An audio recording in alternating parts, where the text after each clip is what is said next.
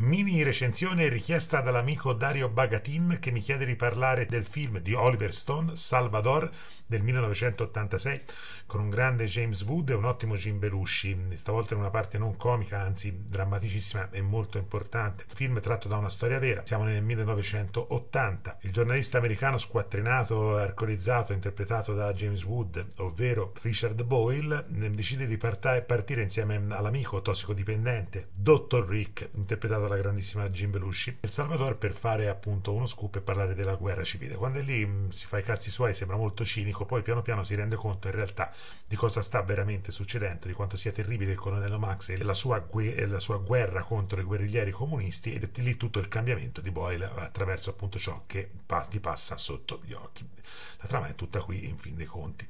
E poi assisteremo a delle scene meravigliose di battaglia, assistiamo a delle scene drammatiche fantastiche. Grande Oliver Stone qui decide, film boicottato in patria, non trovava i soldi, film boicottato perché? Perché dopo Carter arriva Reagan e il nostro dichiara chiaramente che Reagan è un amico dei fascisti dell'America del Sud, Oliver Stone di tutti, da, da, da, da Pinochet a venire giù alla dittatura argentina, a, a tutti quelli che sono stati diciamo i dittatori di destra più fascisti e crudeli del mondo sono tutti stati messi lì appunto dagli americani e pagati dalla CIA per cercare di non far salire il partito comunista o i partiti troppo di sinistra al governo nel Sud America. E questo El Salvador è un film questo Salvador è un film che parla di questo in realtà attraverso gli occhi di un uomo che era convinto in realtà del sogno americano di, di, di, di tutto ciò che sembrava davvero poter essere e quello che era per lui l'idea dell'America all'estero viene devastata appunto da questo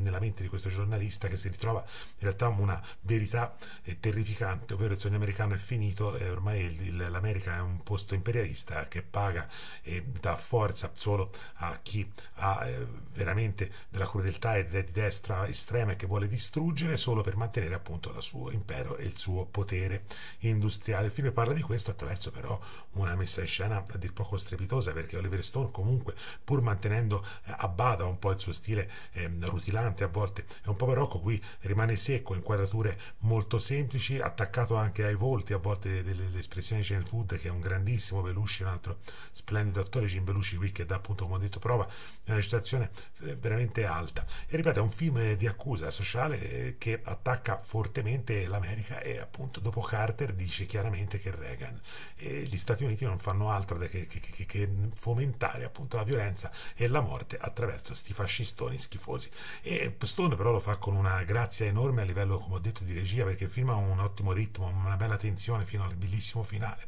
uno dei classici film di formazione del cinema a 14 anni l'ho adorato e nonostante appunto il, il lato sociale e politico riesce ad essere proprio bello anche come intrattenimento un film che tiene non, non, non lascia andare lo spettatore gli insegna anche qualcosa ma lo fa attraverso il modo migliore in cui lo può fare il cinema senza tanta retorica mandando diritto ai fatti e mostrando la realtà per quella che era sempre attraverso comunque lo sguardo mitico del cineasta Oliver Stone che riesce grazie alle belle scenografie di Rubeo belle, alla gran bella musica di Georges Delouret ma anche al montaggio di Claire Simpson a fare un lavoro enorme sulla sua sceneggiatura appunto tratta da questa storia vera di questo Byron film dolente che di questi tempi non li farebbero fare nemmeno sotto tortura probabilmente e mostra un'altra volta quello per cui è, almeno secondo Oliver Stone, l'America, ovvero un paese conquistatore che ha sempre conquistato, che continua a conquistare e che sotto i modi democratici in realtà non fa altro che fomentare la violenza e la guerra nel mondo. Questo dice Salvador di Oliver Stone, potete essere d'accordo oppure no, ma il film resta grandissimo. Il link è qua sotto di Oliver Stone, poi io mi farei